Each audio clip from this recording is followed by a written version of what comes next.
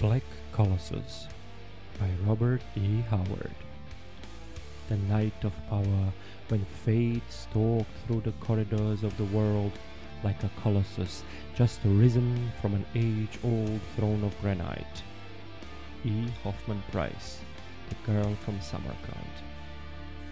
Chapter 1 Only the age old silence brooded over the mysterious ruins of Kuthchemes, but fear was there. Fear quivered in the mind of Shevatas, the thief, driving his breath quick and sharp against his clenched teeth. He stood, the one atom of life amidst the colossal monuments of desolation and decay. Not even a vulture hung like a black dot in the vast blue vault of the sky that the sun glazed with its heat. On every hand rose the grim relics of another forgotten age. Huge broken pillars thrusting up their jagged pinnacles into the sky. Long wavering lines of crumbling walls. Fallen cyclopean blocks of stone. Shattered images whose horrific features the corroding winds and dust storms had half erased. From horizon to horizon, no sign of life. Only the sheer breathtaking sweep of the naked desert, bisected by the wandering line of a long dry river course. In the midst of that vastness, the glimmering fangs of the ruins, the columns standing up like broken masts of sunken ships, all dominated by the towering ivory dome before which Shevatas stood trembling. The base of this dome was a gigantic pedestal of marble rising from what had once been a terraced eminence on the banks of the ancient river. Broad steps led up to a great bronze door in the dome, which rested on its base like a half of some titanic egg. The dome itself was of pure ivory, which shone as if unknown hands kept it polished.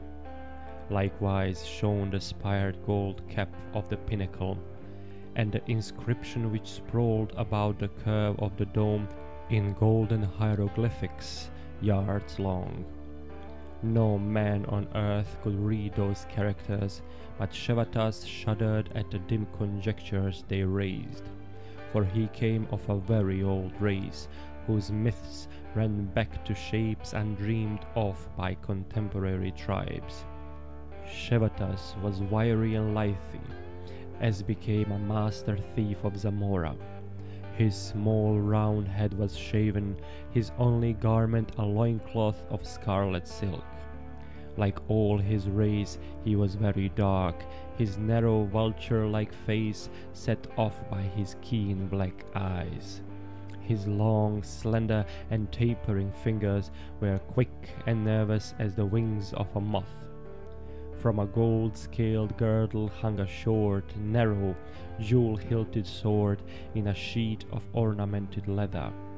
Shevatas handled the weapon with apparently exaggerated care.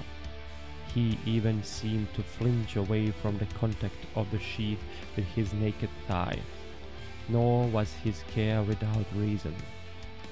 This was Shevatas, a thief among thieves, whose name was spoken with awe in the dives of the mole and the dim shadowy recesses beneath the temples of Bel, and who lived in songs and myths for a thousand years. Yet fear ate at the heart of Shevatas as he stood before the ivory dome of Kuthchemes. Any fool could see there was something unnatural about the structure. The winds and suns of three thousand years had lashed it, yet its gold and ivory rose bright and glistening as the day it was reared by nameless hands on the bank of the nameless river. This unnaturalness was in keeping with the general aura of these devil haunted ruins. This desert was the mysterious expanse lying southeast of the lands of Shem. A few days' ride on camelback to the southwest, as Shevatas knew, would bring the traveler within sight of the great river Styx at a point where it turned at right angles with its former course and flowed westward to empty at last in the distant sea.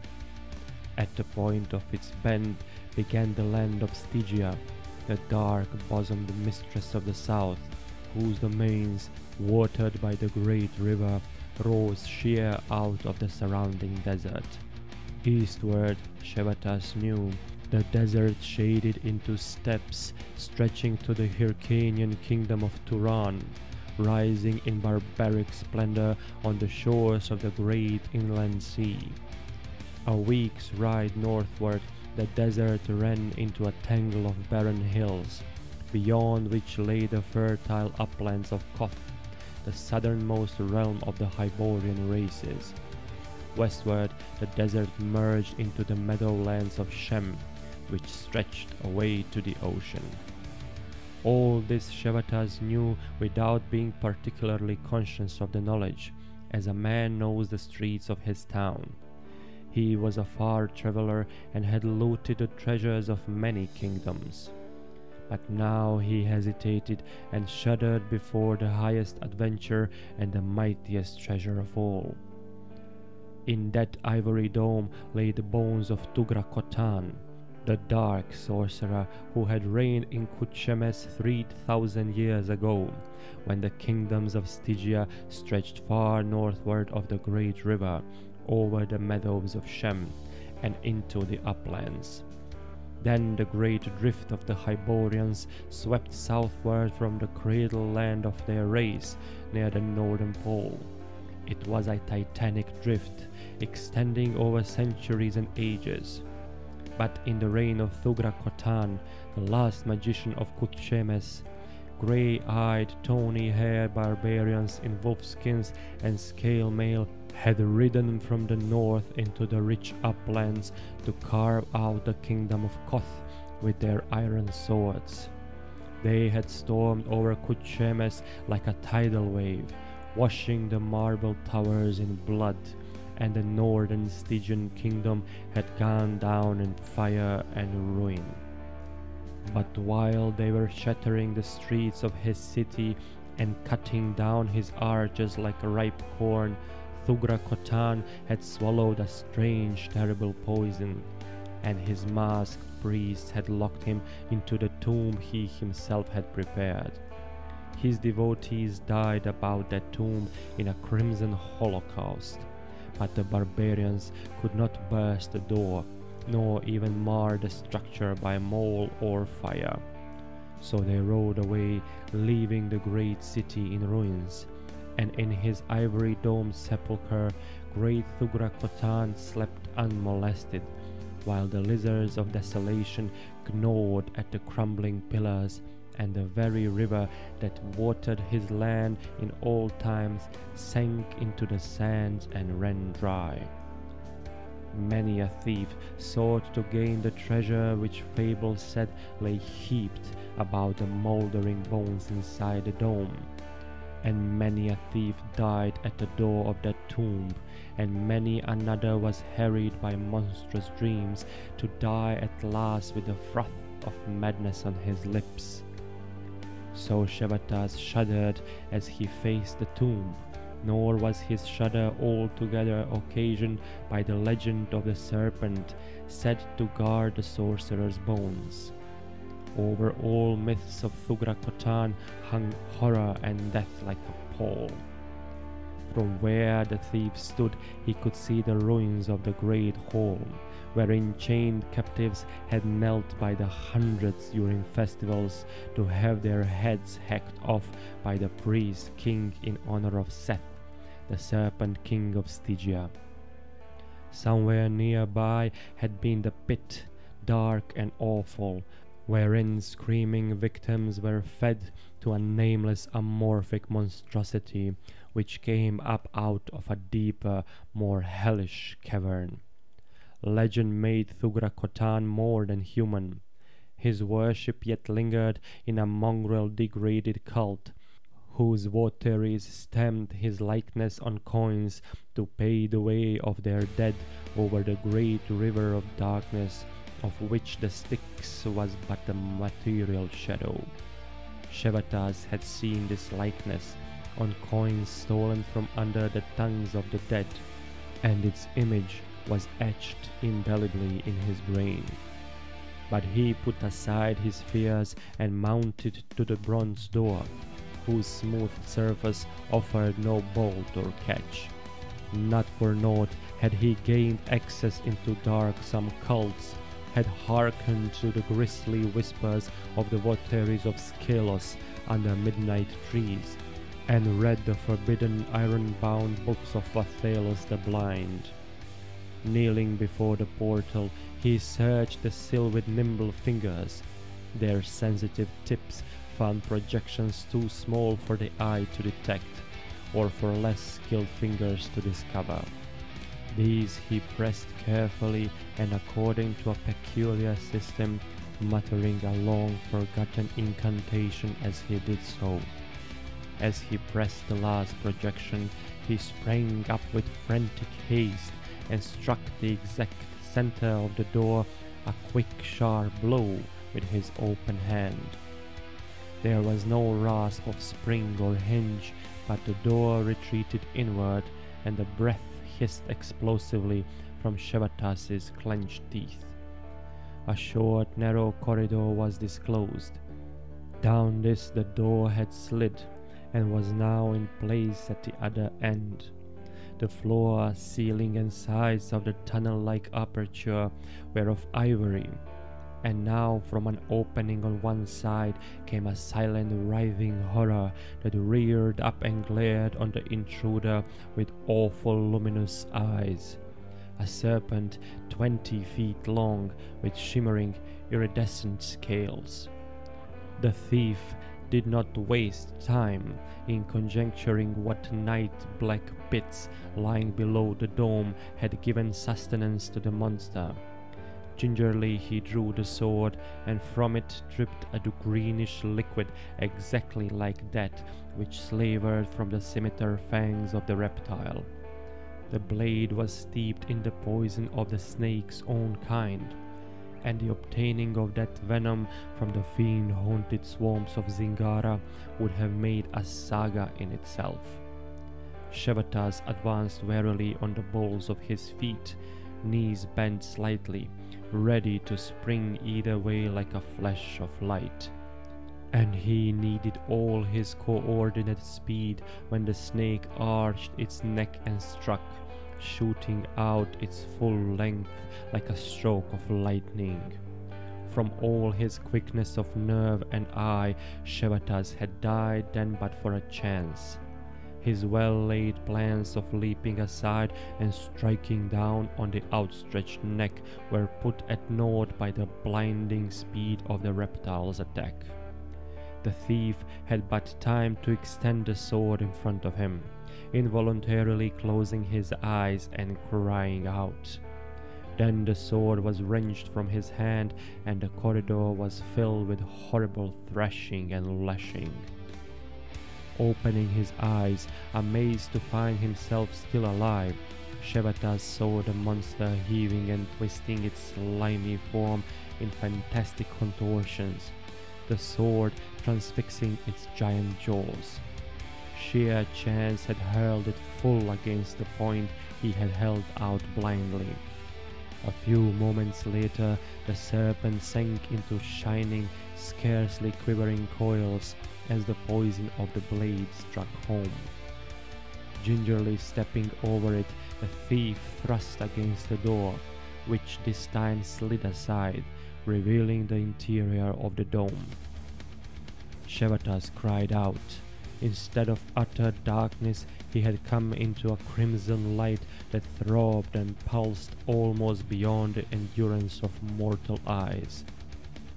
It came from a gigantic red jewel high up in the vaulted arch of the dome. Shevatas gate, inured though he was to the sight of riches. The treasure was there, heaped in staggering profusion.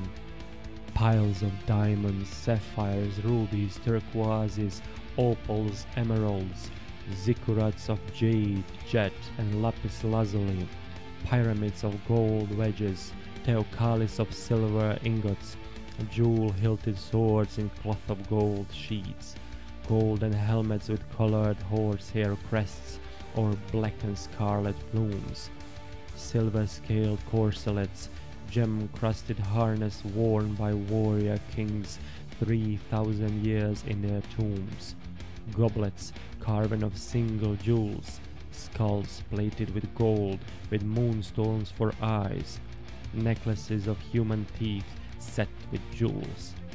The ivory floor was covered inches deep with gold dust that sparkled and shimmered under the crimson glow with a million scintillant lights. The thief stood in a wonderland of magic and splendor, treading stars under his sandaled feet. But his eyes were focused on the dais of crystal which rose in the midst of the shimmering array, directly under the red jewel, and on which should be lying the mouldering bones, turning to dust with the crawling of the centuries.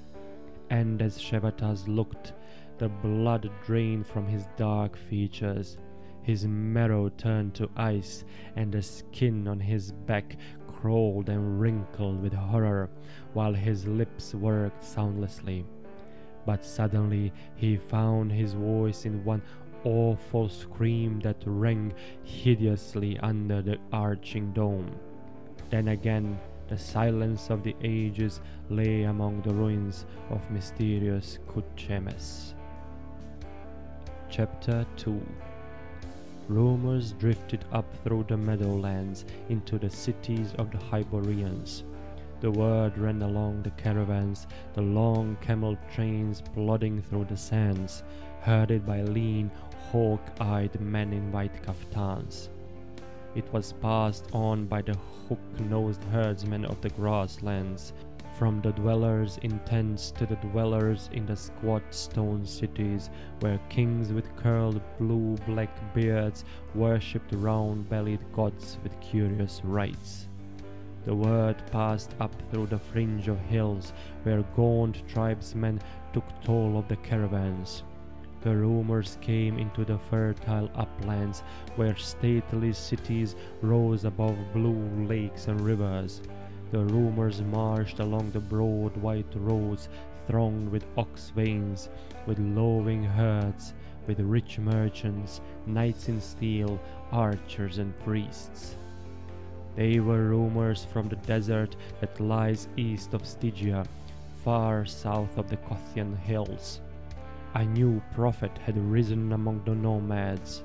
Men spoke of tribal war, of a gathering of vultures in the southeast, and a terrible leader who led his swiftly increasing hordes to victory. The Stygians, ever a menace to the northern nations, were apparently not connected with this movement, for they were massing armies on their eastern borders, and their priests were making magic to fight that of the desert sorcerer whom men called Natohk, the Veiled One, for his features were always masked. But the tide swept northwestward, and the blue bearded kings died before the altars of their pot bellied gods, and their squat walled cities were drenched in blood.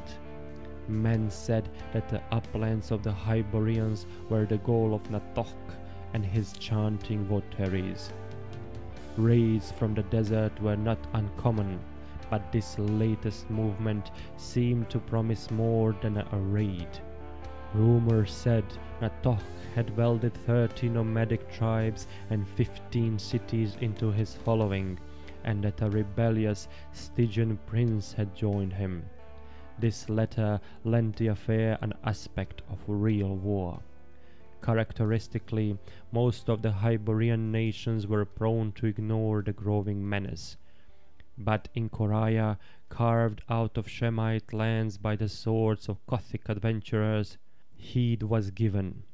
Lying southeast of Koth, it would bear the brunt of the invasion, and its young king was captive to the treacherous king of Ophir, who hesitated between restoring him for a huge ransom or handing him over to his enemy, the penurious king of Koth, who offered no gold but an advantageous treaty. Meanwhile, the rule of the struggling kingdom was in the white hands of young Princess Yasmela, the king's sister. Minstrels sang her beauty throughout the western world, and the pride of a kingly dynasty was hers. But on that night, her pride was dropped from her like a cloak. In her chamber, whose ceiling was a lapis lazuli dome, whose marble floor was littered with rare furs, and whose walls were lavish with gold and frieze work, ten girls, daughters of nobles, their slender limbs weighted with gem-crusted armlets and anklets, slumbered on velvet couches about the royal bed with its golden dais and silken canopy. But Princess Yasmela lolled not on that silken bed. She lay naked on her supple belly upon the bare marble like the most abased suppliant, her dark hair streaming over her white shoulders, her slender fingers intertwined. She lay and writhed in pure horror that froze the blood in her lithe limbs and dilated her beautiful eyes, that pricked the roots of her dark hair and made goose flesh rise along her supple spine. Above her, in the darkest corner of the marble chamber, lurked a vast, shapeless shadow. It was no living thing of form or flesh and blood.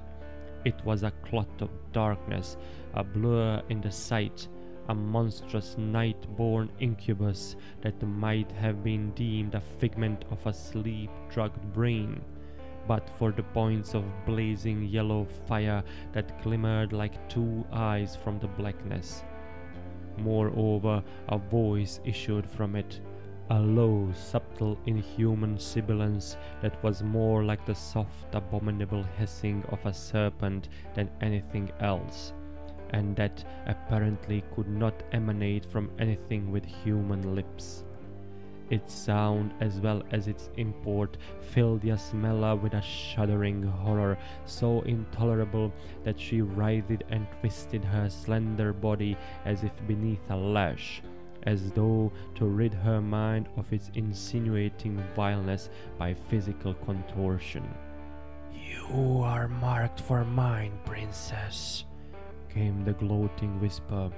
Before I wakened from the long sleep, I had marked you and yearned for you, but I was held fast by the ancient spell by which I escaped my enemies. I am the soul of Natohk, the Veiled One. Look well upon me, princess. Soon you shall behold me in my bodily guise and shall love me. The ghostly hissing dwindled off in lustful titterings, and Yasmela moaned and beat the marble tiles with her small fists in her ecstasy of terror.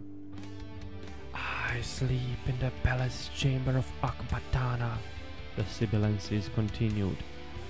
There my body lies in its frame of bones and flesh but it is but an empty shell from which the spirit has flown for a brief space. Could you gaze from that palace casement, you would realize the futility of resistance. The desert is a rose garden beneath the moon, where blossom the fires of hundred thousand warriors. As an avalanche sweeps onward, gathering bulk and momentum, I will sweep into the lands of my ancient enemies. Their kings shall furnish me skulls for goblets. Their women and children shall be slaves of my slaves' slaves. I have grown strong in the long years of dreaming. But thou shalt be my queen, O princess, I will teach thee the ancient forgotten ways of pleasure. We, Before the stream of cosmic obscenity which poured from the shadowy colossus, Yasmela cringed and writhed as if from a whip that flayed her dainty bare flesh. Remember, whispered the horror, the days will not be many before I come to claim mine own. Yasmela, pressing her face against the tiles and stopping her pink ears with her dainty fingers, yet seemed to hear a strange sweeping noise like the beat of bat wings. Then, looking fearfully up, she saw only the moon that shone through the window with a beam that rested like a silver sword across the spot where the phantom had lurked. Trembling in every limb, she rose and staggered to a satin couch, where she threw herself down, weeping hysterically. The girl slept on but one, who roused, yawned, stretched her slender figure, and blinked about. Instantly she was on her knees beside the couch, her arms about Yasmela's supple waist. Was it? Was it? Her dark eyes were wide with fright. Yasmela caught her in a convulsive grasp. Oh, Vateesa, it came again. I saw it, heard it speak. It spoke its name, Natohk. It is Natohk. It is not a nightmare. It towered over me while the girls slept like drugged ones. What, oh, what shall I do? Vateesa twisted a golden bracelet about her rounded arm in meditation. Oh, princess, she said, it is evident that no mortal power can deal with it, and the charm is useless that the priests of Ishtar gave you. Therefore, seek you the forgotten oracle of Mitra. In spite of her recent fright, Yasmela shuddered. The gods of yesterday became the devils of tomorrow. The Kothians had long since abandoned the worship of Mitra, forgetting the attributes of the universal Hyborian god. Yasmela had a vague idea that, being very ancient, it followed that the deity was very terrible. Ishtar was much to be feared, and all the gods of Koth. Kothian culture and religion had suffered from a subtle admixture of Shemite and Stygian strains. The simple ways of the Hyborians had become modified to a large extent by the sensual, luxurious, yet despotic habits of the East. Will Mitra aid me? Yasmela caught Vateesa's wrist in her eagerness. We have worshipped Ishtar so long. To be sure he will. Vateesa was the daughter of an Ophirian priest who had brought his customs with him when he fled from political enemies to Khoraja. Seek the shrine, I will go with you. I will. Yasmela rose but objected when Vateesa prepared to dress her. It is not fitting that I come before the shrine clad in silk. I will go naked on my knees as befits a suppliant, lest Mitra deemed I lack humility. Nonsense! Vateesa had scant respect for the ways of what she deemed a false cult. Mitra would have folk stand upright before him, not crawling on their bellies like worms or spilling blood of animals all over his altars. Thus objurgated, Yasmela allowed the girl to garb her in the light sleeveless silk shirt over which was slipped a silken tunic, bound at the waist by a wide velvet girdle. Satin slippers were put upon her slender feet, and a few deft touches of Vateesa's pink fingers arranged her dark wavy tresses. Then the princess followed the girl who drew aside a heavy gilt-worked tapestry and threw the golden bolt of the door it concealed. This led into a narrow winding corridor, and down this the two girls went swiftly, through another door and into a broad hallway. Here stood a guardsman in crested gilt helmet, silvered cuirass, and gold chased greaves, with a long shafted battle axe in his hands. A motion from Yasmela checked his exclamation, and saluting, he took his stand again beside the doorway, motionless as a brazen image. The girls traversed the hallway, which seemed immense and eerie in the light of the cressets along the lofty walls, and went down a stairway where Yasmela shivered at the blots of shadows which hung in the angles of the walls. Three levels down, they halted at last in a narrow corridor, whose arched ceiling was crusted with jewels, whose floor was set with blocks of crystal, and whose walls were decorated with golden frieze work. Down this shining way they stole, holding each other's hands to a wide portal of gilt.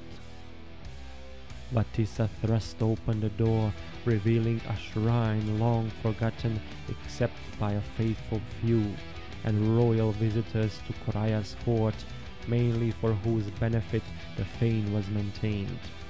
Yasmela had never entered it before, though she was born in the palace. Plain and unadorned in comparison to the lavish display of Ishtar's shrines, there was about it a simplicity of dignity and beauty characteristic of the Mitran religion. The ceiling was lofty, but it was not domed, and was of plain white marble, as were the walls and floor, the former with a narrow gold frieze running about them. Behind an altar of clear green jade, unstained with sacrifice, stood the pedestal whereon sat the material manifestation of the deity. Yasmela looked in awe at the sweep of the magnificent shoulders, the clear cut features, the wide straight eyes, the patriarchal beard, the thick curls of the hair, confined by a simple band about the temples. This, though she did not know it, was art in its highest form, the free, uncramped artistic expression of a highly aesthetic race, unhampered by conventional symbolism. She fell on her knees and thence prostrate, regardless of Vateesa's admonition, and Vateesa, to be on the safe side, followed her example, for after all she was only a girl and it was very awesome in Mitra's shrine. But even so, she could not refrain from whispering in Yasmela's ear, This is but the emblem of the god. None pretends to know what Mitra looks like. This but represents him in idealized human form, as near perfection as the human mind can conceive. He does not inhabit this cold stone as your priests tell you Ishtar does. He is everywhere, above us and about us, and he dreams bedtimes in a high places among the stars. But here his being focuses, therefore call upon him. What shall I say? whispered Yasmela in stammering terror. Before you can speak, Mitra knows the contents of your mind, began Vateesa. Then both girls started violently as a voice began in the air above them. The deep, calm, bell like tones emanated no more from the image than from anywhere else in the chamber. Again Yasmela trembled before the bodiless voice speaking to her, but this time it was not from horror or repulsion. Speak not, my daughter, for I know your need. Came the intonations like deep musical waves beating rhythmically along a golden beach. In one manner may you save your kingdom, and saving it, save all the world from the fangs of the serpent which has crawled up out of the darkness of the ages. Go forth upon the streets alone, and place your kingdom in the hands of the first man you meet there. The unechoing tones ceased, and the girls stared at each other. Then rising they stole forth, nor did they speak until they stood once more in Yasmela's chamber. The princess stared out of the gold-barred windows. The moon had set. It was long past midnight. Sounds of revelry had died away in the gardens and on the roofs of the city. Khoraja slumbered beneath the stars, which seemed to be reflected in the cressets that twinkled among the gardens and along the streets and on the flat roofs of houses where folk slept. What will you do? whispered Vateesa, all a tremble. Give me my cloak, answered Yasmela, setting her teeth. But alone in the streets at this hour, expostulated Vateesa. Mitra had spoken, replied the princess. It might have been the voice of the god or a trick of a priest. No matter, I will go. Wrapping a voluminous silken cloak about her lively figure and donning a velvet cap from which depended a filmy veil, she passed hurriedly through the corridors and approached a bronze door where a dozen spearmen gaped at her as she passed through. This was in a wing of the palace which led directly onto the street.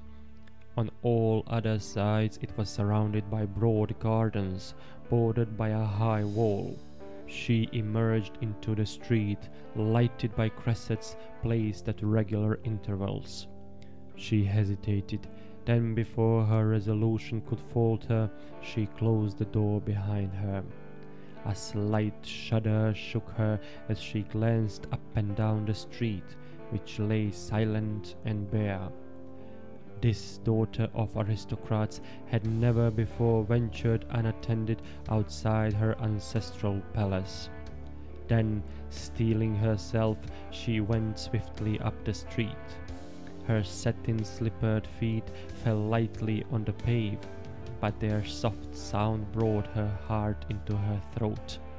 She imagined their fall echoing thunderously through the cavernous city, rousing ragged red-eyed figures in hidden lairs among the sewers. Every shadow seemed to hide a lurking assassin, every blank doorway to mask the slinking hounds of darkness. Then she started violently. Ahead of her, a figure appeared on the eerie street. She drew quickly into a clump of shadows which now seemed like a haven of refuge, her pulse pounding. The approaching figure went not furtively like a thief, or timidly like a fearful traveler. He strode down the nighted street as one who has no need or desire to walk softly. An unconscious swagger was in his stride, and his footfalls resounded on the pave. As he passed near the cresset, she saw him plainly a tall man in the chain-mail hauberk of a mercenary. She braced herself, then darted from the shadow, holding her cloak close about her. Sahar! His sword flashed half out of his sheath. It halted when he saw it was only a woman that stood before him, but his quick glance went over her head, seeking the shadows for possible confederates. He stood facing her, his hand on the long hilt that jutted forward from beneath the scarlet cloak which flowed carelessly from his mailed shoulders. The torchlight glinted dully on the polished blue steel of his greaves and bassinet. A more baleful fire glittered bluely in his eyes. At first glance she saw he was no Kothian. When he spoke she knew he was no Hyborian. He was clad like a captain of the mercenaries, and in that desperate command there were men of many lands, barbarians as well as civilized foreigners. There was a wolfishness about this warrior that marked the barbarian. The eyes of no civilized man, however wild or criminal, ever blazed with such a fire. Wine scented his breath, but he neither staggered nor stammered. Have they shut you into the street? he asked in barbarous Kothic, reaching for her. His fingers closed lightly about her rounded wrist, but she felt that he could splinter its bones without effort. I've but come from the last wine shop open. Ishtar's curse on these white-livered reformers who close the grog houses. Let men sleep rather than guzzle, they say. Aye, so they can work and fight better for their masters. Soft-gutted eunuchs I call them. When I served with the mercenaries of Corinthia, we swilled and wenched all night and fought all day. Aye, blood ran down the channels of our swords. But what of you, my girl? Take off that cursed mask. She avoided his clutch with a lively twist of her body, trying not to appear to repulse him. She realized her danger alone with a drunken barbarian. If she revealed her identity, he might laugh at her or take himself off. She was not sure he would not cut her throat. Barbaric men did strange, inexplicable things. She fought the rising fear. Not here, She laughed. come with me. Where? His wild blood was up, but he was wary as a wolf. Are you taking me to some den of robbers?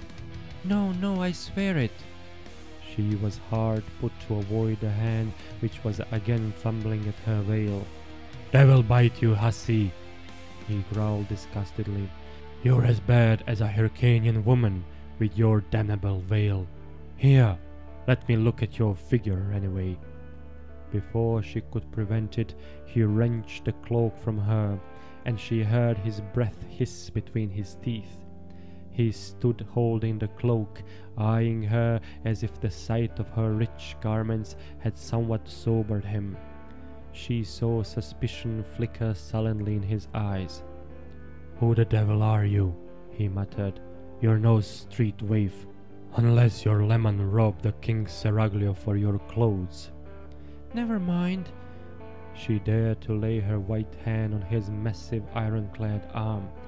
Come with me off the street. He hesitated, then shrugged his mighty shoulders. She saw that he half believed her to be some noble lady who, weary of polite lovers, was taking this means of amusing herself. He allowed her to don the cloak again and followed her. From the corner of her eyes, she watched him as they went down the street together. His mail could not conceal his hard lines of tigerish strength. Everything about him was tigerish, elemental, untamed. He was alien as the jungle to her in his difference from the debonair courtiers to whom she was accustomed. She feared him, told herself she loathed his raw brute strength and unashamed barbarism, yet something breathless and perilous inside her leaned toward him. The hidden primitive chord that lurks in every woman's soul was sounded and responded. She had felt his hardened hand on her arm, and something deep in her tingled to the memory of that contact. Many men had knelt before Yasmela. Here was one she felt had never knelt before anyone. Her sensations were those of one leading an unchained tiger. She was frightened and fascinated by her fright. She halted at the palace door and thrust lightly against it. Furtively watching her companion, she saw no suspicion in his eyes. Palace, eh? he rumbled. So you're a maid in waiting. She found herself wondering with a strange jealousy if any of her maids had ever led this war eagle into her palace. The guards made no sign as she led him between them, but he eyed them as a fierce dog might eye a strange pack. She led him through the curtained doorway into an inner chamber, where he stood naively scanning the tapestries until he saw a crystal jar of wine on an ebony table. This he took up with a gratified sigh, tilting it towards his lips. Vateesa ran from an inner room, crying breathlessly, Oh, my princess! Princess! The wine jar crashed to the floor. With a motion too quick for sight to follow, the mercenary snatched off Yasmela's veil, glaring. He recoiled with a curse, his sword leaping into his hand with a broad shimmer of blue steel. His eyes blazed like a trapped tiger's. The air was supercharged with tension that was like the pause before the bursting of a storm. Vateesa sank to the floor, speechless with terror, but Yasmela faced the infuriated barbarian without flinching. She realized her very life hung in the balance. Maddened with suspicion and unreasoning panic, he was ready to deal death at the slightest provocation. But she experienced a certain breathless exhilaration in the crisis. Do not be afraid, she said. I am Yasmela, but there is no reason to fear me. Why did you lead me here? He snarled, his blazing eyes darting all about the chamber. What manner of trap is this? There is no trickery, she answered. I brought you here because you can aid me. I called on the gods, on Mitra, and he bade me go into the streets and ask aid of the first man I meet. This was something he could understand. The barbarians had their oracles. He lowered his sword, though he did not sheath it. Well, if you're Yasmela, you need aid, he grunted. Your kingdom is in a devil of a mess. But how can I aid you? If you want a throat cut, of course. Sit down, she requested. Vateesa, bring him wine. He complied, taking care, she noticed, to sit with his back against a solid wall where he could watch the whole chamber. He laid his naked sword across his mail sheeted knees. She glanced at him in fascination. Its dull blue glimmer seemed to reflect tales of bloodshed and rapine. She doubted her ability to lift it, yet she knew that the mercenary could wield it with one hand as lightly as she could wield a riding whip. She noted the breadth and power of his hands. They were not the stubby, undeveloped paws of a troglodyte. With a guilty start, she found herself imagining those strong fingers locked in her dark hair.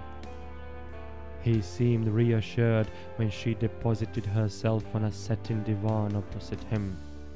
He lifted off his bassinet and laid it on the table, and drew back his coif, letting the mail folds fall upon his massive shoulders. She saw more fully now his unlikeness to the Hyborian races. In his dark, scarred face there was a suggestion of moodiness, and without being marked by depravity or definitely evil, there was more than a suggestion of the sinister about his features, set off by his smoldering blue eyes. A low, broad forehead was stopped by a square cut, tousled mane as black as the raven's wing. Who are you? she asked abruptly. Conan, a captain of the mercenary spearmen, he answered, emptying the wine cup at a gulp and holding it out for more. I was born in Cimmeria. The name meant little to her. She only knew vaguely that it was a wild, grim hill country which lay far to the north, beyond the last outposts of the Hyborian nations, and was peopled by a fierce, moody race. She had never before seen one of them. Resting her chin on her hands, she gazed at him with the deep, dark eyes that had enslaved many a heart. Conan of Cimmeria, she said, you said I needed aid. Why? Well, he answered, any man can see that. Here is the king, your brother, in the Ophirian prison. Here is Koth, plotting to enslave you. Here is this sorcerer screaming hellfire and destruction down in Shem. And what's worse, here are your soldiers deserting every day. She did not at once reply. It was a new experience for a man to speak so forthrightly to her. his words not couched in courtier phrases. Why are my soldiers deserting Conan? she asked. Some are being hired away by Koth, he replied, pulling at the wine jar with relish. Many think Khoraja is doomed as an independent state. Many are frightened by tales of this dog Natohk. Will the mercenaries stand? she asked anxiously. As long as you pay us well, he answered frankly. Your politics are nothing to us. You can trust Amalric, our general, but the rest of us are only common men who love loot. If you pay the ransom Ophir asks, men say you'll be unable to pay us. In that case, we might go over to the king of Koth, though that cursed miser is an old friend of mine. Or we might loot this city. In a civil war, the plunder is always plentiful. Why would you not go over to Natohk? she inquired. What could he pay us? He snorted. With fat-bellied brass idols he looted from the Shemite cities. As long as you're fighting Natohk, you may trust us. Would your comrades follow you? She asked abruptly. What do you mean? I mean, she answered deliberately, that I am going to make you commander of the armies of Khoraja. He stopped short, the goblet at his lips, which curved in a broad grin. His eyes blazed with a new light. Commander, Crom, but what will your perfumed nobles say? They will obey me. She clapped her hands to summon a slave who entered, bowing deeply. Have Countess Thespides come to me at once, and the Chancellor Taurus, Lord Amalric, and the Aga Shupras. I place my trust in Mitra, she said, bending her gaze on Conan, who was now devouring the food placed before him by the trembling Vateesa.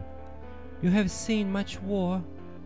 I was born in the midst of a battle, he answered, tearing a chunk of meat from a huge joint with his strong teeth. The first sound my ears heard was the clang of swords and the yells of the slaying. I have fought in blood feuds, tribal wars, and imperial campaigns. But can you lead men and arrange battle lines? Well, I can try, he returned imperturbably. It's no more than sword play on a larger scale. You draw his guard, then stab, slash, and either his head is off or yours. The slave entered again, announcing the arrival of the men sent for. and Yasmela went into the outer chamber, drawing the velvet curtains behind her. The nobles bent the knee in evident surprise at her summons at such an hour. I have summoned you to tell you of my decision, said Yasmela. The kingdom is in peril. Right enough, my princess. It was Count Thespides who spoke, a tall man whose black locks were curled and scented. With one white hand he smoothed his pointed mustache, and with the other he held a velvet chaperon with a scarlet feather fastened by a golden clasp. His pointed shoes were satin, his coterie of gold broidered velvet. His manner was slightly affected, but the thews under his silks were steely. It were well to offer Ophir more gold for your royal brother's release. I strongly disagree, broke in Taurus the Chancellor, an elderly man in an ermine fringed robe, whose features were lined with the cares of his long service. We have already offered what will beggar the kingdom to pay. To offer more would further excite Ophir's cupidity. My princess, I say as I have said before, Ophir will not move until we have met this invading horde. If we lose, he will give King Kossus to Koth. If we win, he will doubtless restore his majesty to us on payment of the ransom. And in the meantime, broke in Amalric, the soldiers desert daily, and the mercenaries are restless to know why we dally. He was an Nemedian, a large man with a lion-like yellow mane. We must move swiftly, if at all. Tomorrow we march southward, she answered, and there is a man who shall lead you. Jerking aside the velvet curtains, she dramatically indicated the Cimmerian. It was perhaps not an entirely happy moment for the disclosure. Conan was sprawled in his chair, his feet propped on the ebony table, busily engaged in gnawing a beef bone which he gripped firmly in both hands. He glanced casually at the astounded nobles, grinned faintly at Amalric, and went on munching with undisguised relish. Mitra protect us! exploded Amalric.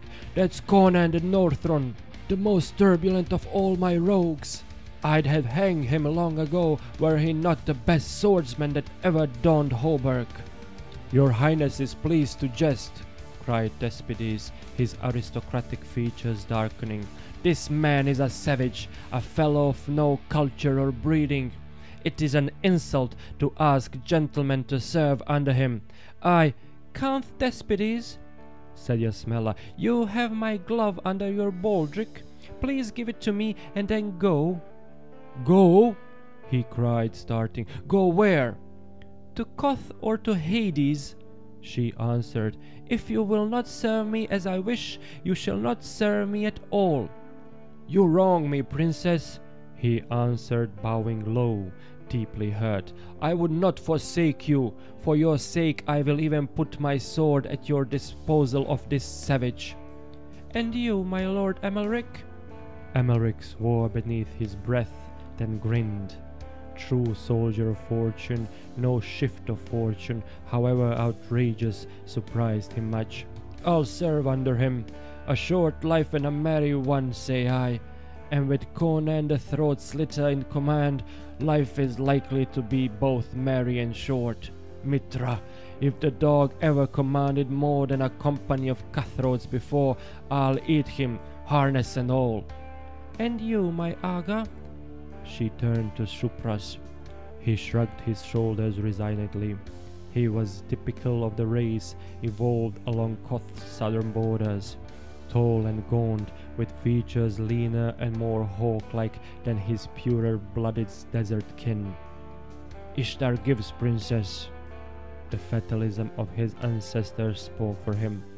Wait there, she commanded, and while Thespides fumed and gnawed his velvet cap, Taurus muttered wearily under his breath, and Amalric strode back and forth, tugging at his yellow beard and grinning like a hungry lion.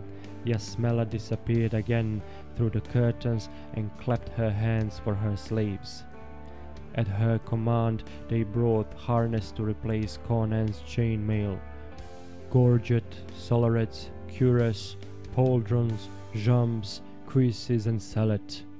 When Yasmela again drew the curtains, a Conan in burnished steel stood before his audience.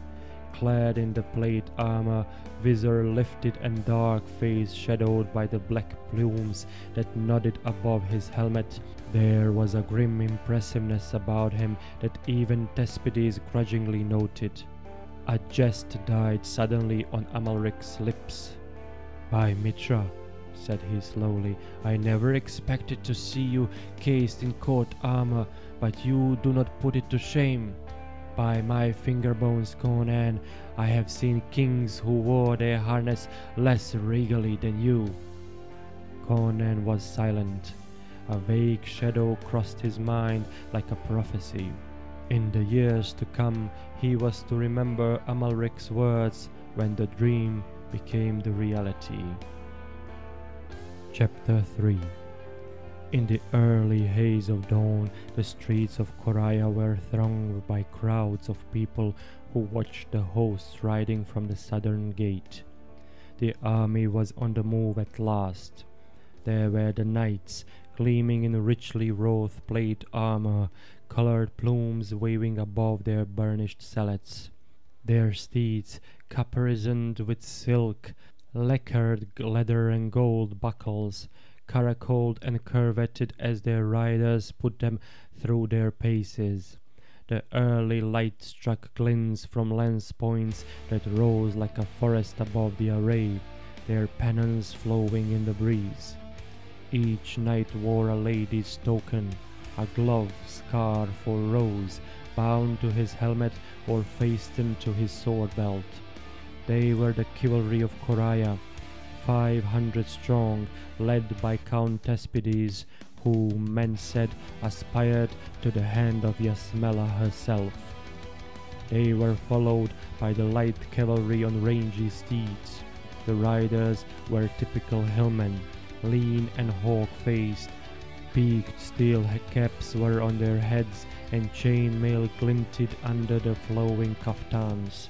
Their main weapon was the terrible Shemitish bow, which could send a shaft 500 paces. There were 5,000 of these, and Shupras rode at their head, his lean face moody beneath his spired helmet. Close on their heels marched the Khoraja spearmen, always comparatively few in any Hyborian state, where men thought cavalry the only honorable branch of service.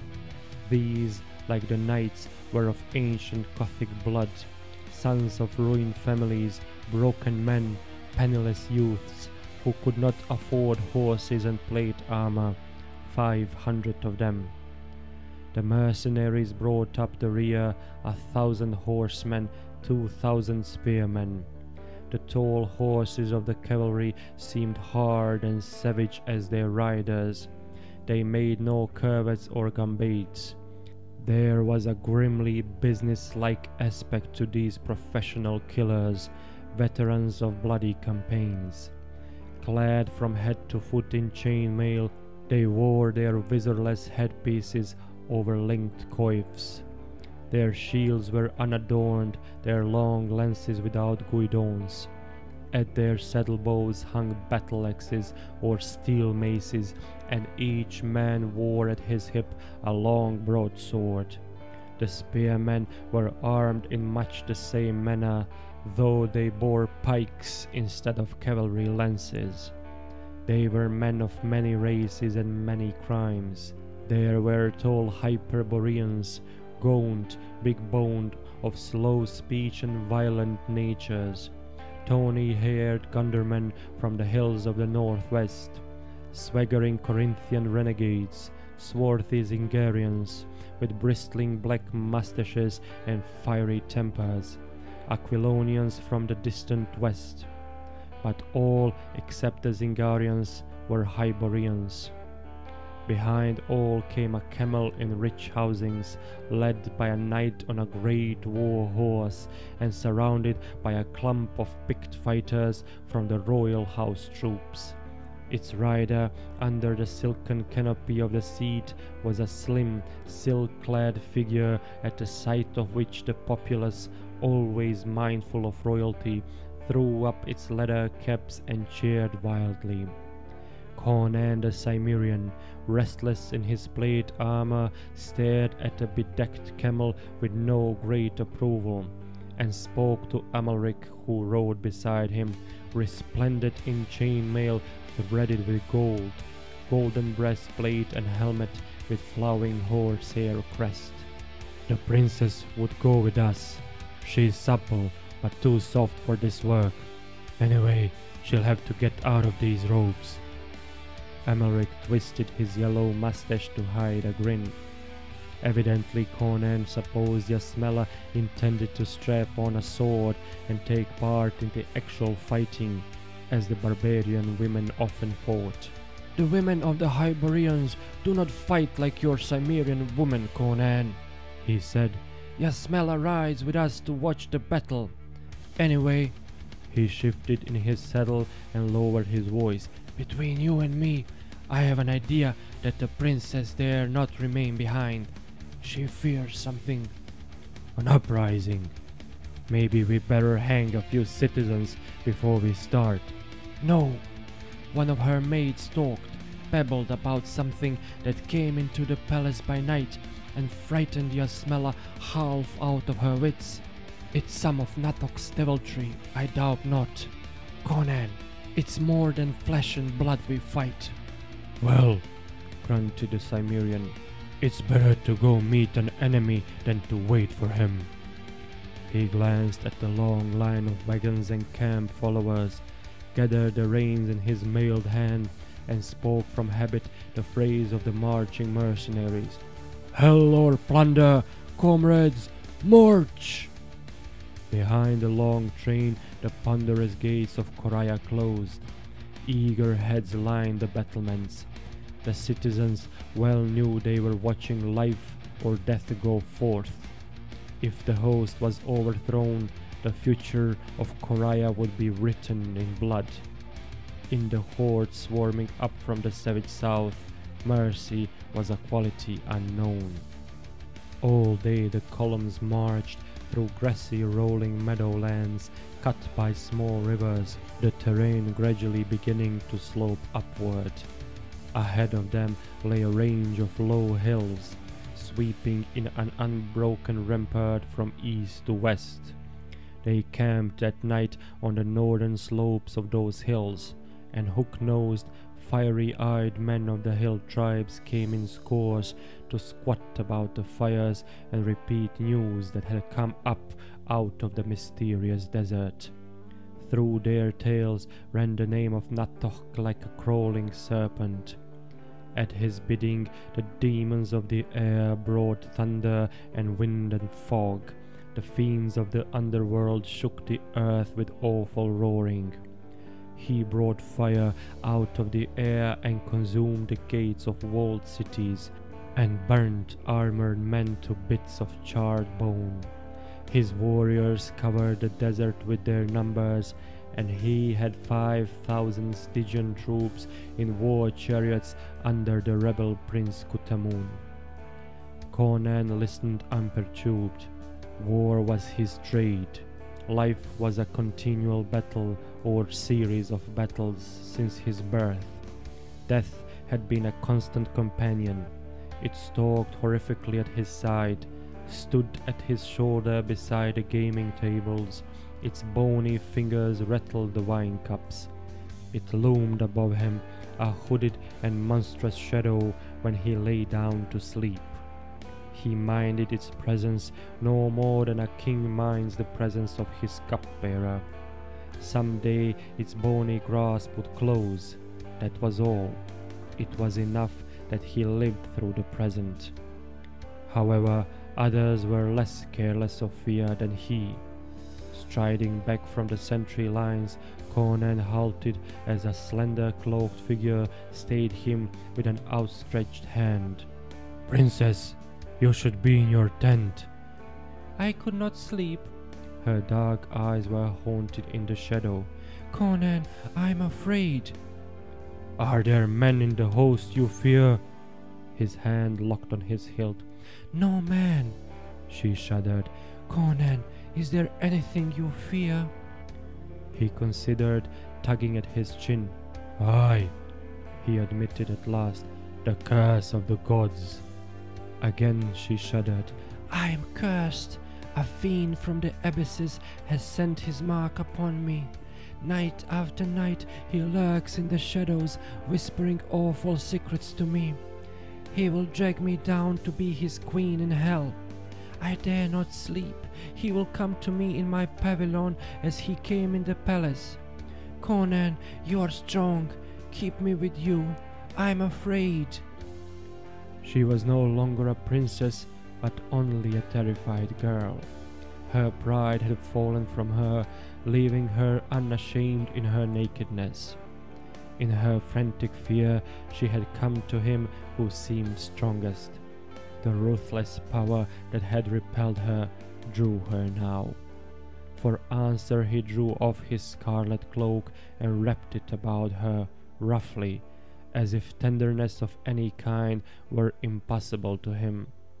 His iron hand rested for an instant on her slender shoulder, and she shivered again, but not with fear. Like an electric shock of surge of animal vitality swept over her at his mere touch, as if some of his superabundant strength has been imparted to her. Lie here, He indicated a clean swept space close to a small flickering fire.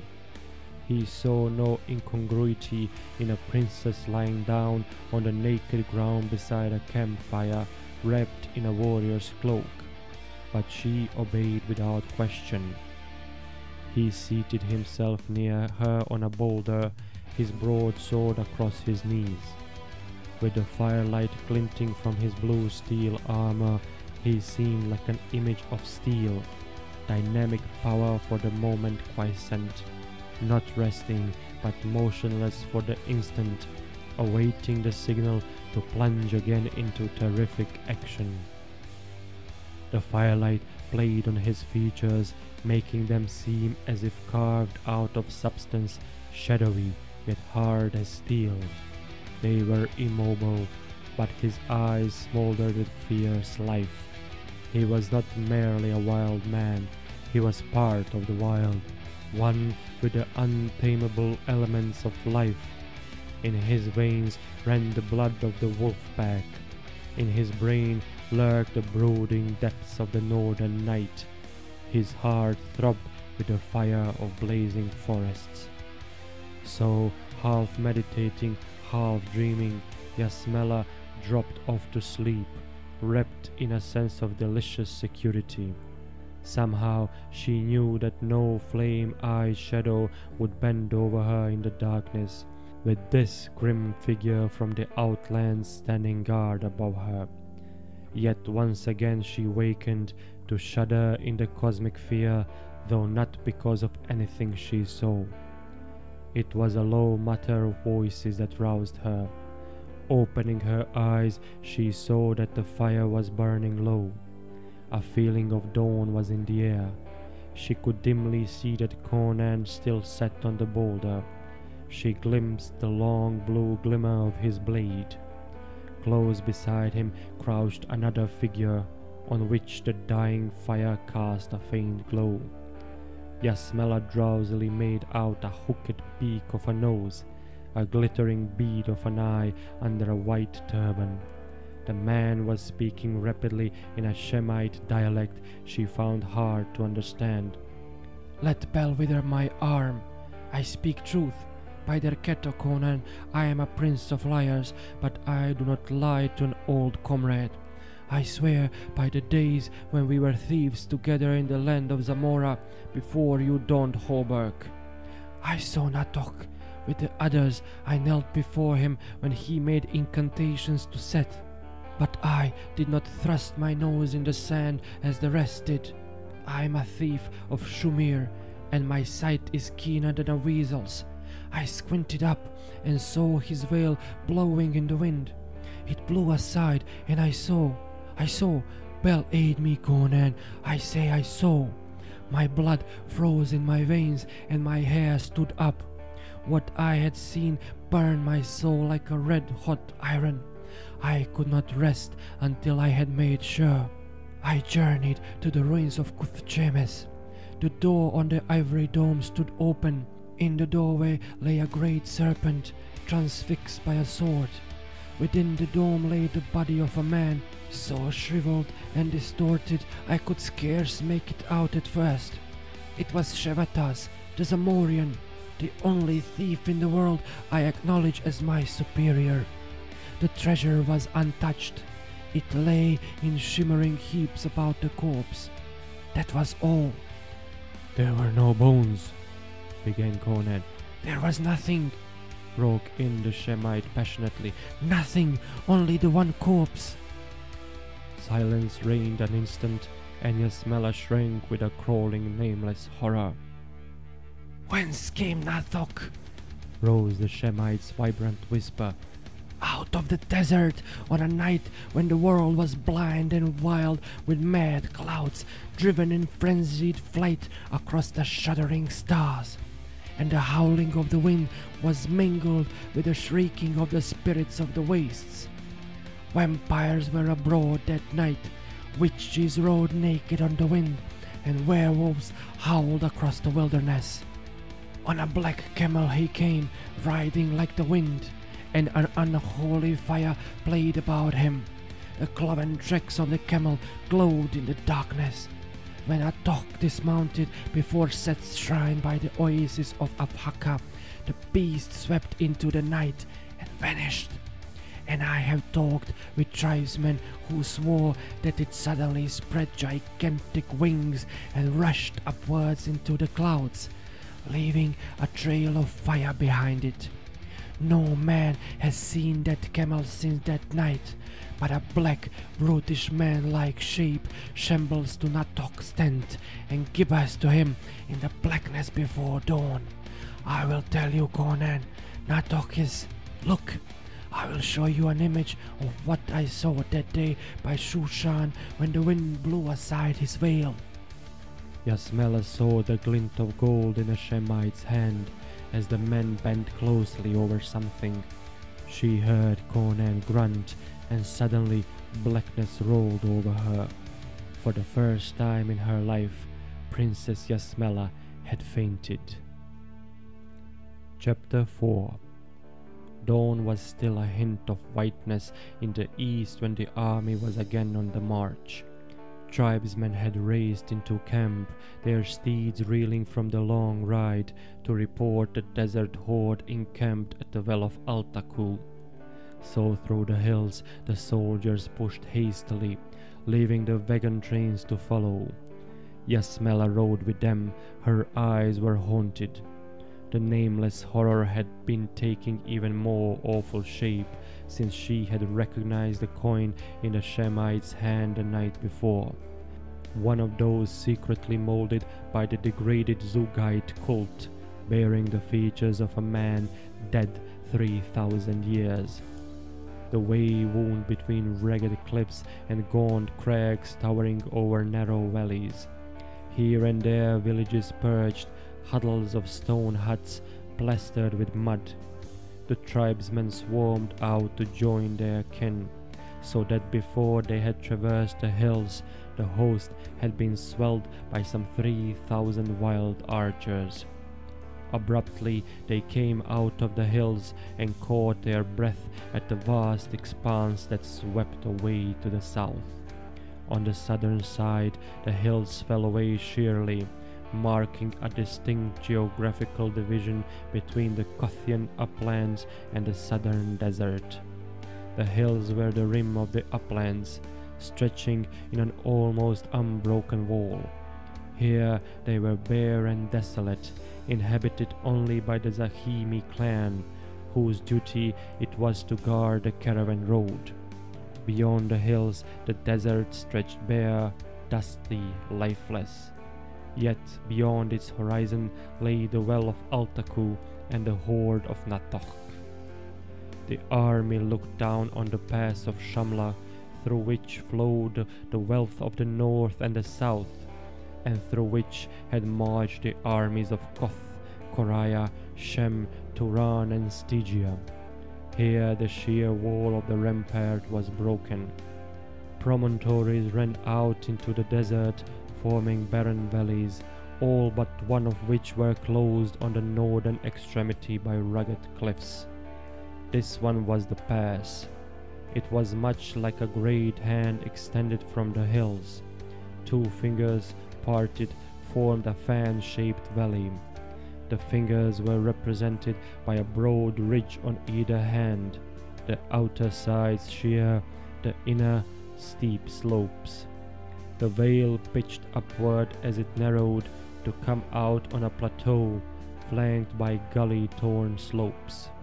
A well was there and a cluster of stone towers occupied by the Zahimis. There Conan halted, swinging off his horse. He had discarded the plate armor for the more familiar chainmail. Thespides reined in and demanded, Why do you halt? We'll await them here, answered Conan. Twere more knightly to ride out and meet them, snapped the count. They'd smother us with numbers, answered the Cimmerian. Besides, there's no water out there. We'll camp on the plateau. My knights and I camp in the valley, retorted Thespides angrily. We are the vanguard, and we, at least, do not fear a ragged desert swarm. Conan shrugged his shoulders, and the angry nobleman rode away. Amalric halted in his bellowing order to watch the glittering company riding down the slope into the valley. The fools! Their canteens will soon be empty, and they'll have to ride back up to the well to water their horses. Let them be, replied Conan. It goes hard for them to take orders from me. Tell the dog brothers to ease their harness and rest. We march hard and fast. Water the horses and let the men munch. No need to send out scouts. The desert lay bare to the gaze, though just now this view was limited by low-lying clouds which rested in whitish masses on the southern horizon. The monotony was broken only by a jutting tangle of stone ruins, some miles out of the desert, reputedly the remnants of an ancient Stygian temple. Conan dismounted the archers and ranged them along the ridges with wild tribesmen. He stationed the mercenaries and the Korayi spearmen on the plateau above the well.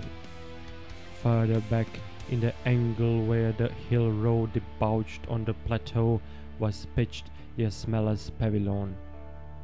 With no enemy in sight, the warriors relaxed.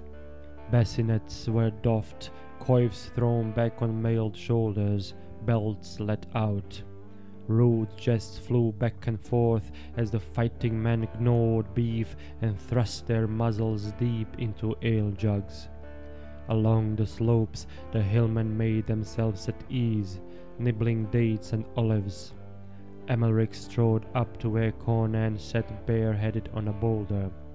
Conan, have you heard what the tribesmen say about Natohk? They say, Mitra, it's too mad even to repeat. What do you think? Seeds rest in the ground for centuries without rotting, sometimes, answered Conan. But surely Natohk is a man. I'm not sure, grunted Amalric. At any rate, you've arranged your lines as well as a seasoned general could have done.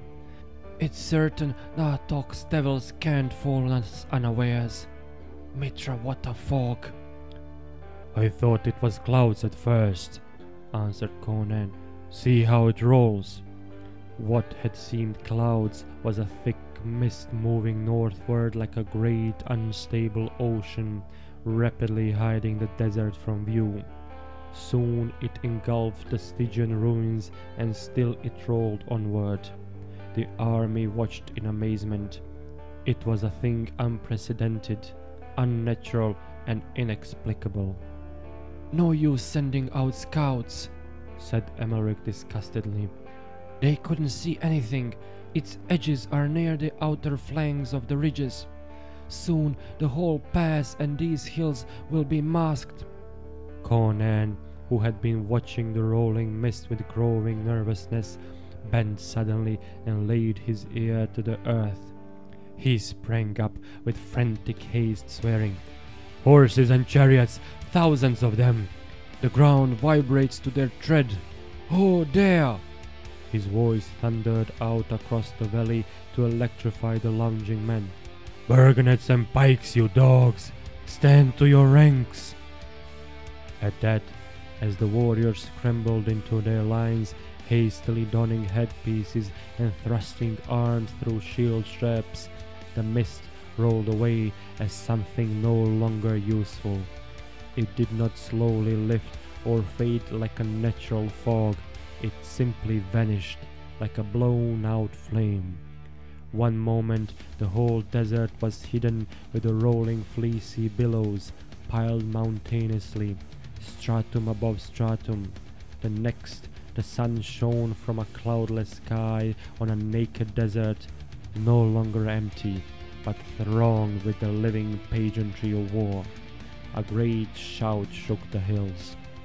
At first glance, the amazed watchers seemed to be looking down upon a glittering, sparkling sea of bronze and gold, where steel points twinkled like a myriad stars. With the lifting of the fog, the invaders had halted as if frozen in long serried lines, flaming in the sun. First was a long line of chariots drawn by the great fierce horses of Stygia, with plumes on their heads, snorting and rearing as each naked driver leaned back, bracing his powerful legs, his dusky arms knotted with muscles. The fighting men in the chariots were tall figures, their hawk-like faces set off by bronze helmets crested with a crescent supporting a golden bowl. Heavy bows were in their hands. No common archers these, but nobles of the south, bred to war and the hunt, who were accustomed to bringing down lions with their arrows. Behind these came a motley array of wild men on half-wild horses, the warriors of Kush, the first of the great black kingdoms on the grasslands south of Stygia. They were shining ebony, supple and lithe, riding stark naked and without saddle or bridle. After these rolled a horde that seemed to encompass all the desert. Thousands and thousands of the warlike sons of Shem, ranks of horsemen in scale mail corselets and cylindrical helmets, the Ashuri of Nippur, Shumir, and Eruk, and their sister cities, wild white robed hordes, the nomad clans. Now the ranks began to mill and eddy. The chariots drew off to one side while the main host came uncertainly onward. Down in the valley the knights had mounted, and now Count Thespides galloped up the slope to where Conan stood. He did not deign to dismount, but spoke abruptly from the saddle. The lifting of the mist has confused them. Now is the time to charge. The Kushites have no bow and they mask the whole advance. A charge of my knights will crush them back into the ranks of Shemites, disrupting their formation. Follow me. We will win this battle with one stroke. Conan shook his head. Were we fighting a natural foe, I would agree. But this confusion is more feigned than real, as if to draw us into a charge. I fear a trap. Then you refuse to move, cried Thespides, his face dark with passion. Be reasonable, expostulated Conan. We have the advantage of position. With a furious oath, Thespides wheeled and galloped back down the valley, where his knights waited impatiently. Amalric shook his head. You should not have let him return, Conan. I. Look there! Conan sprang up with a curse. Thespides had swept in beside his men. They could hear his impassioned voice faintly, but his gesture toward the approaching horde was significant enough. In another instant, five hundred lances dipped and the steel-clad company was thundering down the valley. A young page came running from Yasmela's pavilion, crying to Conan in a shrill, eager voice. My lord, the princess asks why you do not follow and support Count Thespides. Because I am not so great a fool as he, grunted Conan, reseating himself on the boulder and beginning to gnaw a huge beef bone. You grow sober with authority, quoth Amalric. Such madness as that was always your particular joy. Aye, when I had only my own life to consider, answered Conan. Now, what in hell? The horde had halted. From the extreme wing rushed a chariot, the naked charioteer lashing the steed like a madman. The other occupant was a tall figure whose robe floated spectrally on the wind. He held in his arms a great vessel of gold, and from it poured a thin stream that sparkled in the sunlight. Across the whole front of the desert horde the chariot swept, and behind its thundering wheels was left, like the wake behind a ship, a long, thin, powdery line that glittered in the sands like the phosphorescent track of a serpent. That's not talk, swore Amalric. What hellish seed is he sowing? The charging knights had not checked their headlong pace. Another fifty paces and they would crash into the uneven cushioned ranks which stood motionless, spears lifted. Now the foremost knights had reached the thin line that glittered across the sands. They did not heed that crawling menace, but as the steel-shod hoofs of the horses struck in, it was as when steel strikes flint, but with more terrible result.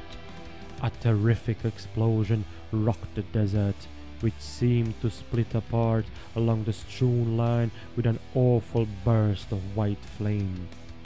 In that instant, the whole foremost line of the knights was seen enveloped in that flame, horses and steel-clad riders withering in the glare like insects in an open blaze. The next instant, the rear ranks were piling up on their chariot bodies. Unable to check their headlong velocity, rank after rank crashed into the ruins.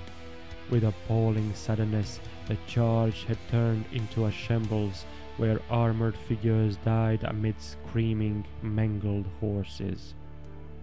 Now the illusion of confusion vanished as the horde settled into orderly lines. The wild Kushites rushed into the shambles, spearing the wounded, bursting the helmets of the knights with stones and iron hammers. It was all over so quickly that the watchers on the slopes stood dazed. And again the horde moved forward, splitting to avoid the charred waste of corpses. From the hills went up a cry, We fight not men but devils! On either ridge the hillmen wavered.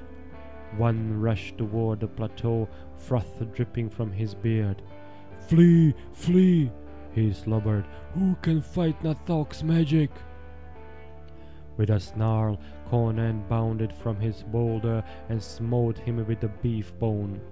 He dropped, blood starting from nose and mouth. Conan drew his sword, his eyes slits of blue bale fire.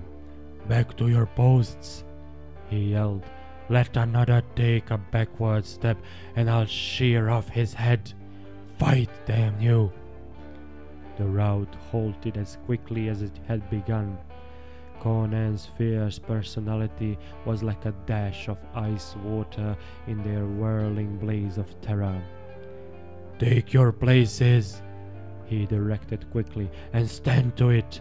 Neither man nor devil comes up Shamla Pass this day. Where the plateau rim broke to the valley slope, the mercenaries braced their belts and gripped their spears. Behind them, the lancers set their steeds, and to one side were stationed the Khoraja spearmen as reserves.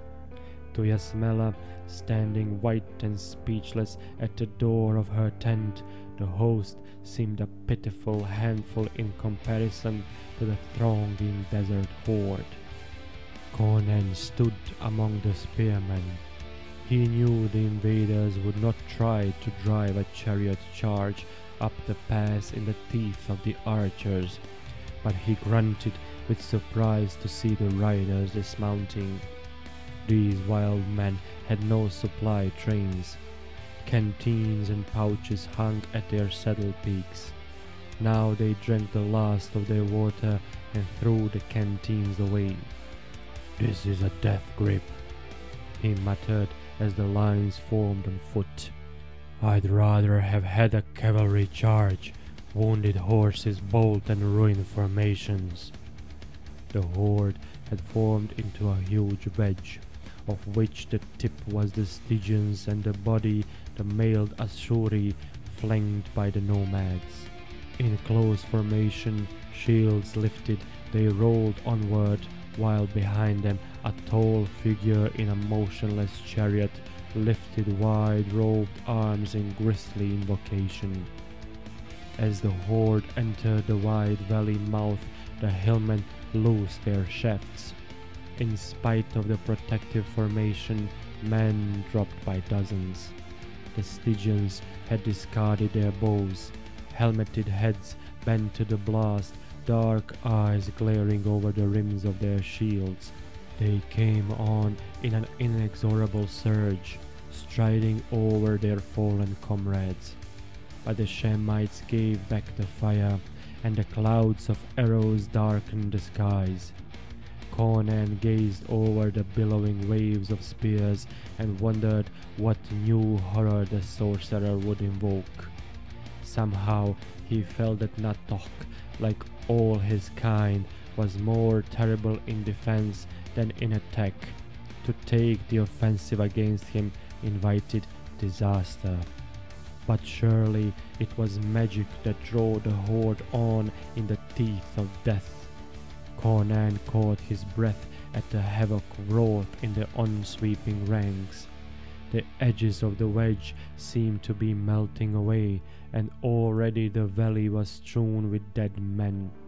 Yet the survivors came on like madmen, unaware of death. By the very numbers of their bows, they began to swarm the archers on the cliffs. Clouds of shafts sped upward, driving the hillmen to cover. Panic struck at their hearts at that unwavering advance, and they plied their bows madly, eyes glaring like trapped wolves. As the horde neared the narrower neck of the pass, boulders thundered down, crushing men by the scores, but the charge did not waver. Conan's wolves braced themselves for the inevitable concussion.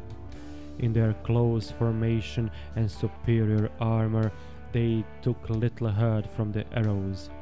It was the impact of the charge Conan feared, when the huge wedge would crash against his thin ranks. And he realized now there was no breaking of that onslaught. He gripped the shoulder of Zahimi who stood near. Is there any way by which mounted men can get down into the blind valley beyond that western ridge? Aye, a steep, perilous path, secret and internally guarded, but Conan was dragging him along to where Amalric sat his great war horse. Amalric, he snapped, follow this man. He'll lead you into yon otter valley. Ride with him, circle the end of the ridge, and strike the horde from the rear. Speak not, but go. I know it's madness, but we are doomed anyway.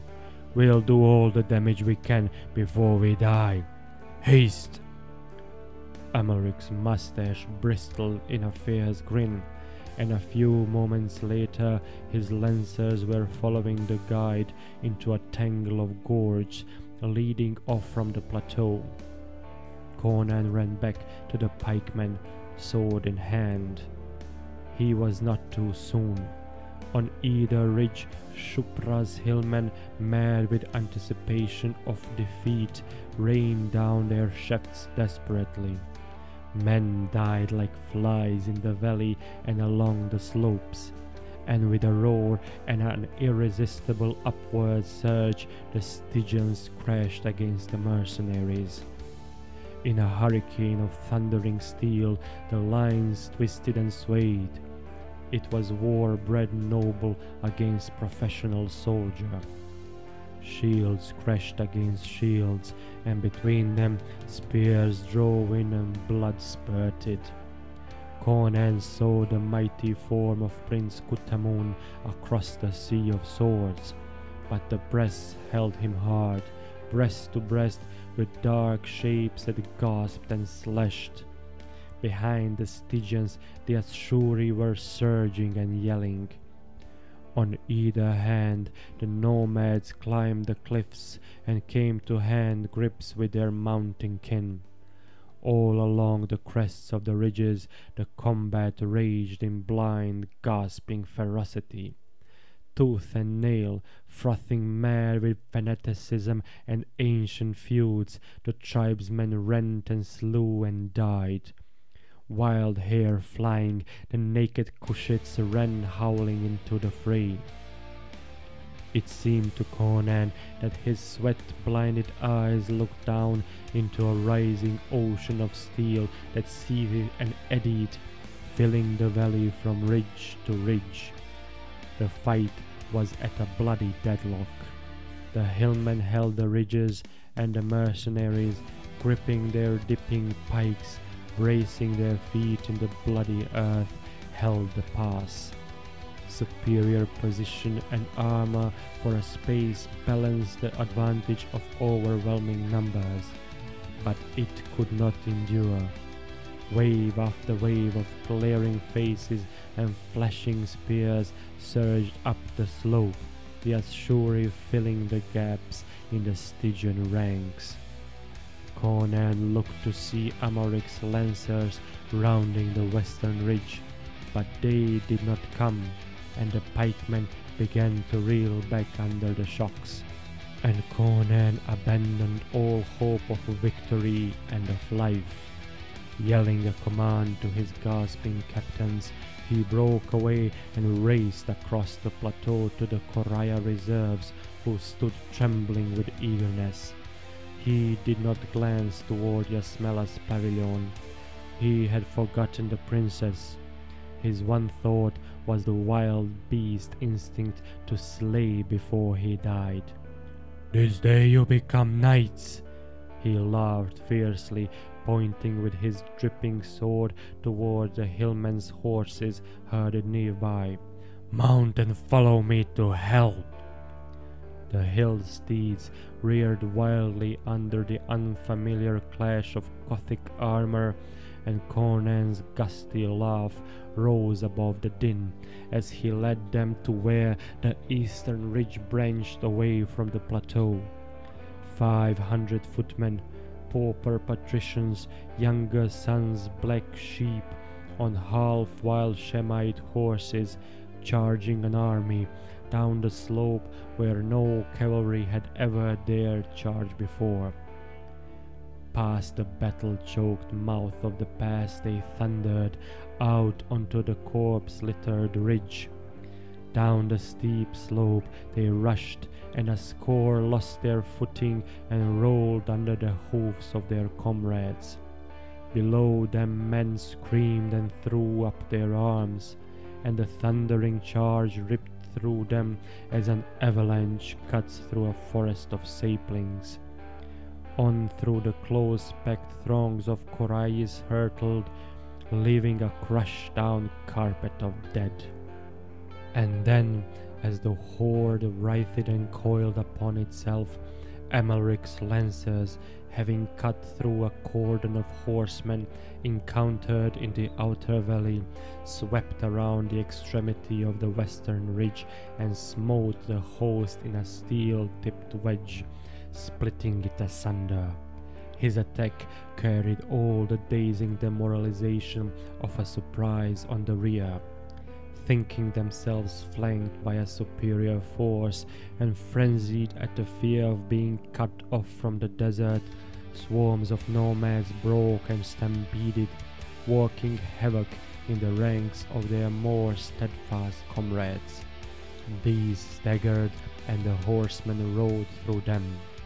Up on the ridges, the desert fighters wavered, and the hillmen fell on them with a renewed fury driving them down the slopes. Stunned by surprise, the horde broke before they had time to see it was but a handful which assailed them. And once broken, not even a magician could weld such a horde again. Across the sea of heads and spears, Conan's madmen saw Amalric's riders forging steadily through the rout, through the rise and fall of axes and maces, and a mad joy of victory exalted each man's heart and made his arm steel. Racing their feet in the wallowing sea of blood whose crimson waves leapt about their ankles, the pikemen in the pass, mouth drove forward, crushing strongly against the milling ranks before them. The Stygians held, but behind them the press of the Asshuri melted, and over the bodies of the nobles of the south who died in their tracks to a man, the mercenaries rolled to split and crumple the wavering mass behind. Up on the hills, old Shupras lay with an arrow through his heart. Amalric was down, swearing like a pirate, a spear through his mailed thigh. Of Conan's mounted infantry, scarce a hundred and fifty remained in the saddle, but the horde was shattered. Nomads and mailed spearmen broke away, fleeing to their camp where their horses were, and the hillmen swarmed down the slopes, stabbing the fugitives in the back, cutting the throats of the wounded. In the swirling red chaos, a terrible apparition suddenly appeared before Conan's rearing steed. It was Prince Kutamun, naked but for a loincloth, his harness hacked away, his crested helmet dented, his limbs splashed with blood. With a terrible shout, he hurled his broken hilt full into Conan's face, and leaping, seized the stallion's bridle. The Cimmerian reeled in his saddle, half stunned, and with awful strength the dark skinned giant forced the screaming steed upward and backward until it lost its footing and crashed into the muck of bloody sand and writhing bodies. Conan sprung clear as the horse fell, and with a roar Kutamun was on him. In that mad nightmare of battle, the barbarian never exactly knew how he killed his man. He only knew that a stone in the Stygian's hand crashed again and again on his bassinet, filling his sight with flashing sparks as Conan drew his dagger again and again into his foe's body, without apparent effect on the prince's terrible vitality. The world was swimming to Conan's sight when, with a convulsive shudder, the frame that strained against his stiffened and then went limp. Reeling up, blood streaming down his face from under his dented helmet, Conan glared dizzily at the profusion of destruction which spread before him. From crest to crest, the dead lay strewn, a red carpet that choked the valley. It was like a red sea with each wave of straggling line of corpses. They choked the neck of the pass, they littered the slopes. And down in the desert the slaughter continued, where the survivors of the horde had reached their horses and streamed out across the waste, pursued by the weary victors. And Conan stood up appalled as he noted how few of these were left to pursue. Then an awful scream rent the clamor. Up the valley a chariot came flying, making nothing of the heaped corpses. No horses drew it, but a great black creature that was like a camel. In the chariot stood Natohk, his robes flying, and gripping the reins and lashing like mad, crouched a black anthropomorphic being that might have been a monster ape. With a rush of burning wind, the chariot swept up the corpse littered slope, straight toward the pavilion where Yasmela stood alone, deserted by her guards in the frenzy of pursuit. Conan, standing frozen, heard her frenzied scream as Natohk's long arm swept her up into the chariot. Then the grisly steed wheeled and came racing back down the valley, and no man dared speed arrow or spear lest he strike Yasmela, who writhed in Natohk's arms. With an inhuman cry, Conan caught up his fallen sword and leaped into the path of the hurtling horror. But even as his sword went up, the four feet of the black beast smote him like a thunderbolt and sent him hurtling a score feet away, dazed and bruised. Yasmela's cry came hauntingly to his stunned ears as the chariot roared by. A yell that had nothing of a human in its timbre rang from his lips as Conan rebounded from the bloody earth and seized the rein of a riderless horse that raced past him, throwing himself into the saddle without bringing the charger to a halt. With mad abandon, he raced after the rapidly receding chariot. He struck the levels flying and passed like a whirlwind through the Shemite camp. Into the desert he fled, passing clumps of his own riders and hard spurring desert horsemen. On flew the chariot, and on raced Conan, though his horse began to reel beneath him. Now the open desert lay all about them, bathed in the lurid desolate splendor of sunset. Before him rose up the ancient ruins, and with a shriek that froze the blood in Conan's veins, the unhuman charioteer cast Natohk and the girl from him. They rolled on the sand, and to Conan's dazed gaze, the chariot and its steed altered awfully. Great wings spread from the black horror that in no way resembled a camel, and it rushed upward into the sky, bearing in its wake a shape of blinding flame, in which a black man like shape gibbered in ghastly triumph. So quickly it passed that it was like the rush of a nightmare through a horror haunted dream. Natohk sprang up, cast a swift look at his grim pursuer, who had not halted but came riding hard, with sword swinging low and spattering red drops. And the sorcerer caught up the fainting girl and ran with her into the ruins. Conan leaped from his horse and plunged after them. He came into a room that glowed with unholy radiance, though outside the dusk was falling swiftly. On a black jade altar lay Yasmela, her naked body gleaming like ivory in the weird light. Her garments lay strewn on the floor as if ripped from her in brutal haste.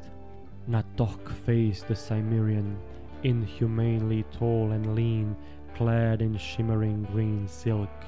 He tossed back his veil, and Conan looked into the features he had seen depicted on the Zugite coin. I blench dog. The voice was like the hiss of a giant serpent. I am Thugra Khotan. Long I lay in my tomb, awaiting the day of awakening and release. The arts which saved me from the barbarians long ago likewise imprisoned me. But I knew one would come in time, and he came to fulfill his destiny, and to die as no man has died in three thousand years. Fool, do you think you have conquered because my people are scattered? Because I have been betrayed and deserted by the demon I enslaved? I am Thugra Khotan, who shall rule the world despite your paltry gods. The desert is filled with my people. The demons of the earth shall do my bidding, as the reptiles of the earth obey me. Lust for a woman weakened my sorcery. Now the woman is mine, and feasting on her soul, I shall be unconquerable.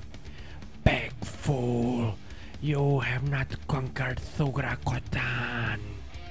He cast his staff, and it fell at the feet of Conan, who recoiled with an involuntary cry. For as it fell, it altered horribly.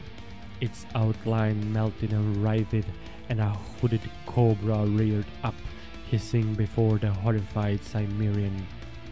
With a furious oath, Conan struck, and his sword sheared the horrid shape in half. And there at his feet lay only the two pieces of a severed ebon staff. Thugra Khotan laughed awfully, and wailing, caught up something that crawled loathsomely in the dust on the floor. In his extended hand, something alive writhed and slavered. No tricks of shadows this time. In his naked hand, Thugra Khotan gripped a black scorpion, more than a foot in length, the deadliest creature of the desert, the stroke of whose spiked tail was instant death. Thugra Khotan's skull-like countenance split in a mummy-like grin. Conan hesitated, then without warning he threw his sword. Caught off guard, Thugra Khotan had no time to avoid the cast. The point struck beneath his heart and stood out a foot behind his shoulders. He went down, crushing the poisonous monster in his grasp as he fell. Conan strode to the altar, lifting Yasmela in his blood-stained arms. She threw her white arms convulsively about his mailed neck, sobbing hysterically, and would not let him go. Crom's devil girl, he grunted, loose me. Fifty thousand men have perished today, and there is work for me to do. No, she gasped, clinging with convulsive strength, as barbaric for the instant as he in her fear and passion. I will not let you go. I am yours by fire and steel and blood. You are mine. Back there I belong to others. Here I am mine and yours. You shall not go. He hesitated, his own brain reeling with the fierce upsurging of his violent passions. The lurid, unearthly glow still hovered in the shadowy chamber, lighting ghostly the dead face of Thugra Khotan, which seemed to grin mirthlessly and cavernously at them. Out on the desert, in the hills, among the oceans of dead, men were dying, were howling with wounds and thirst and madness, and kingdoms were staggering. Then all was swept away by the crimson tide that rose madly in Conan's soul as he crushed fiercely in his iron arms the slim white body that shimmered like a witch fire of madness before him.